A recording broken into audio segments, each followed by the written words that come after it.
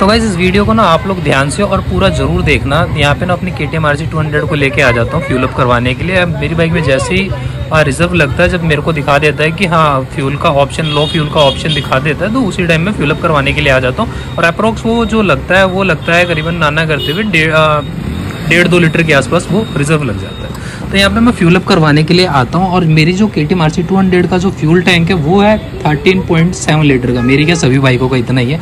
Thirteen point seven litre का fuel tank की capacity जो कंपनी क्लेम करती है जो के टी एम क्लेम करती है कि हाँ भी इतना आ जाता है ठीक है? तो और यहाँ पे देखो ये पेट्रोल पंप वाले कितना फ्यूल डाल देते हैं जो कि मेरी बाइक में अप्रोक्स डेढ़ से दो लीटर फ्यूल था पहले से।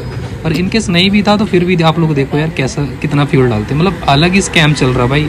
इस बाइक में अप्रोक्स अप्रोक्स ना ना करते ये लोग भाई पंद्रह लीटर मेरी बाइक के अंदर फ्यूल डाल देते तो क्या ही बोले भाई इस स्कैम के लिए?